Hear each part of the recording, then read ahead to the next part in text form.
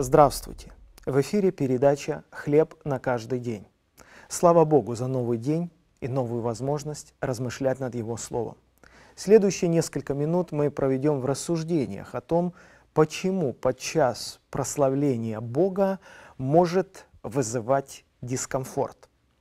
Пророк Исаия в 42 главе передает Слово Божие. «Я Господь, это мое имя, и не дам славы моей иному». Прямое поклонение Богу оказывается необычайно сложным делом. Восхваление кого-то другого противоестественно для эгоцентричной плотской натуры человека. Это сразу вызывает зависть и вскрывает таящуюся внутри ревность, замешанную на эгоизме. Восхваление Бога рушит пирамиду моих плотских ценностей, лишая мое «я» малейших претензий на свое место под солнцем. Стоит лишь начать открыто хвалить Бога как мое гнездо в теплом курятнике человеческого общежития рушится. Моя система взаимообмена признанием, остановитесь здесь, система взаимообмена признанием, точно так, как мы обмениваем денежные купюры в своем окружении, так точно мы обмениваемся признанием в своем окружении. И эта система начинает терпеть крах.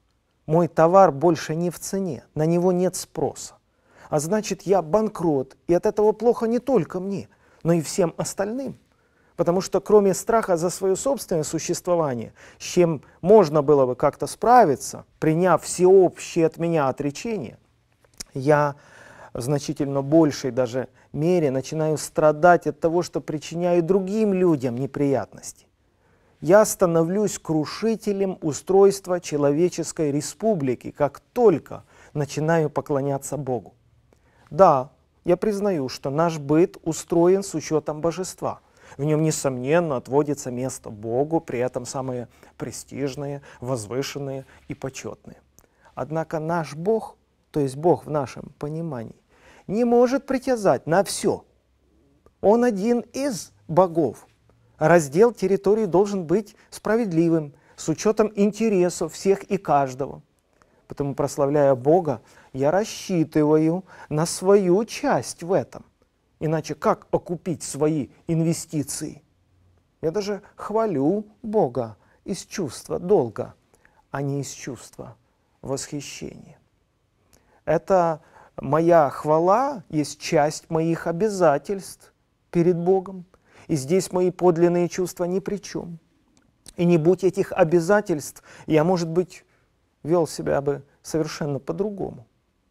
Когда я хвалю его, то соглашаюсь на унижение из необходимости, а не из чувства преклонения.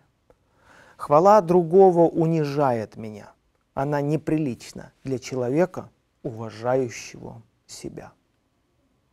Именно это Милхола пыталась сказать Давиду, когда он скакал перед ковчегом Божьим.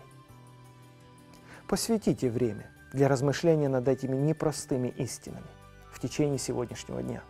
Храни вас Господь. До следующей встречи в эфире. Мысли из книги «Покушение на высший суверенитет»